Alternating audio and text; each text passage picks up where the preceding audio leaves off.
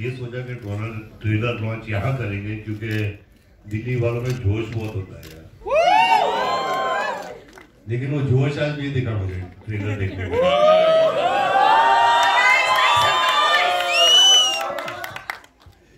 और it's a political drama it's about a family तो दिल्ली में पॉलिटिक्स बहुत ज़्यादा ही होती है। तो इसीलिए हम लोग ने सोचा एक तो इन लोग का प्यार इनका जोश and politics I think uh, most of the people here, whether it's Dada, Chunky or Manisha, she's not here. I think they are more of family and they've been Sanjay's colleague uh, since uh, I think years They've worked together for so many films. So it was not really a challenge, but then it was just more of a phone call and saying this is what I really feel you should do, and everybody was just on board. Dada manages dates, he is doing a lot of work, and uh, he was like in and out. Chunky was doing a lot of work, and he was I think shooting for a household, if I'm not mistaken, and he had his mustache issues and everything. But uh, thanks to everybody, everybody put it up to me for Sanju, for this production house, for the Prasthanam family. difference to the movie. I promise you. Thank you. अच्छा Sanju sir से question है। So अभी माने the ma'am is the producer so do you have to adhere to the deadlines की इतने बजे तक आपको सेट पे आ जाना है और इतने टाइम तक हम लोगों को अपना शूट कंप्लीट करना है? So was it something like that और क्योंकि वो सुना है ना घर की मुर्गी दाल बराबर। तो क्या वो यहाँ पर अप्लाई होता है? ये ऑडियंस में कितने लोगों ने शादी की हुई है? तो बीवी क्या बोलती है? तो करना पड़ता है वो भी दिख गया। बस ये तो घर की मुर्गी दाल वाला तो नहीं था। She is a good producer and she she really made all the artist और राइट वेल बीवी क्या के ना किसी की चली है और ना किसी की चलनी है ये बात तो मैं अग्री करती हूँ। एंड इसी के साथ साथ my next question is directed to Jaggu Dada. Jaggu Dada से मेरा एक क्वेश्चन है। I am gonna open the house in a while just have some patience बस I'll take one more minute. So Jaggu Dada, my question to you is, uh, so अभी uh, Baba से you have a totally different connect and you have worked with Manisha ma'am also. आपने सौदागर में उनके साथ काम किया है. So how did it feel like to be back on screen with them, with your uh, veteran actors, with your colleagues again back on the screen? कैसा feel हो रहा है आपको? सबको प्रणाम प्यार देवा साहब हमारे डायरेक्टर साहब हैं और अ, जो उन्होंने हैंडल किया हम सबको थैंक यू सो मच बहुत अच्छी तरह से आपने काम किया। Thank you for handling actors like Baba and me together बाकी के अ, क्या कुछ? कैसे लगा? Experience कैसा रहा? वास्तव में तो ऐसा लगता है सब अ, पुराने अ, ये हमारे दोस्ती है ना आज की नहीं है। कुछ अ, पाँच सात साल की पहले की है।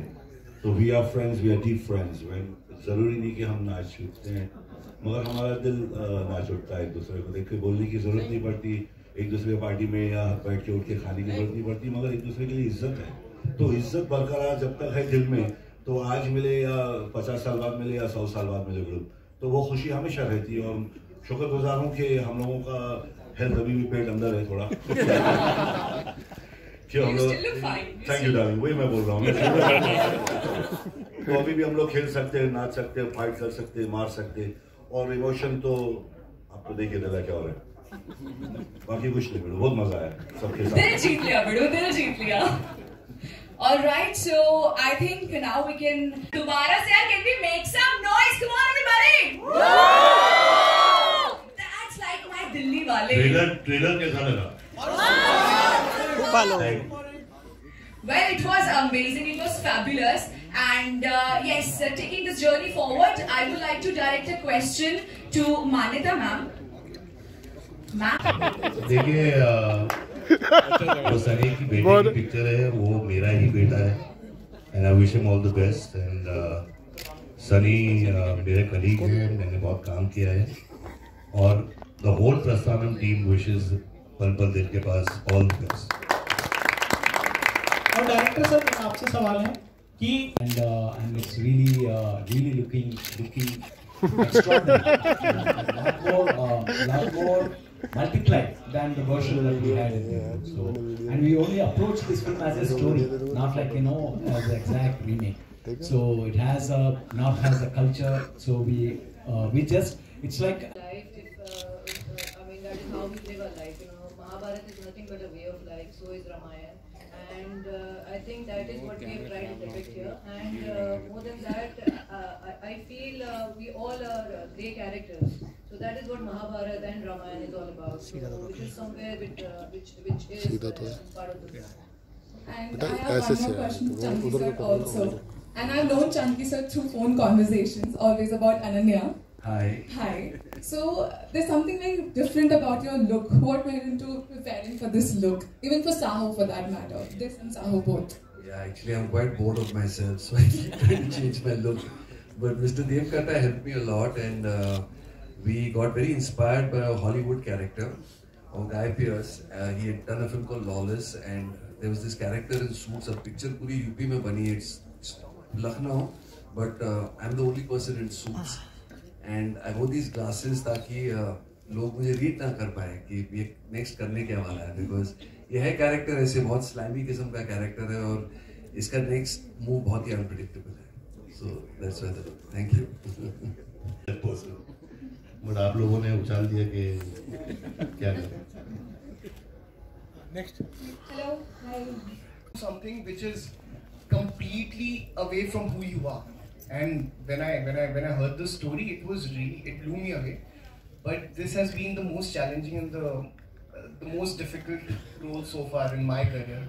And again, I want to say uh, thanks to Deva sir for uh, you know he, he just he went ahead and उन्होंने मुझे हर दिन push किया कि just go ahead and bring that animal from inside.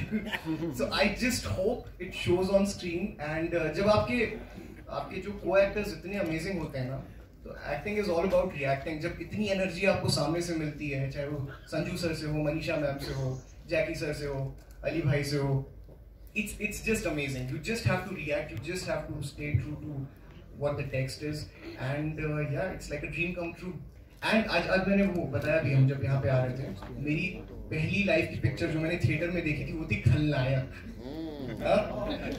So you can imagine the kind of you know this experience has been like वो बार बार अपने आप को रिमाइंड कराना पड़ता था उन्होंने come back to the character and you actually working with your heroes your childhood heroes the people you grown up and आप कई बार उनकी स्टाइल मिमिक करने की कोशिश करते हैं but you can't because they are so amazing And I just want to say I love you too, Ali.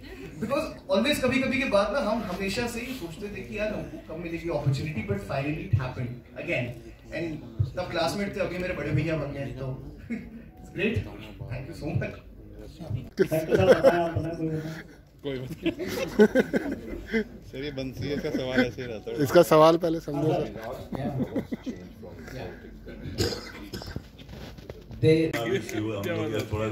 थोड़ा पढ़े लिखे ऐसे काफ़ी वाफी कोशिश करते कि ना जाम करें पब्लिक को ना हो।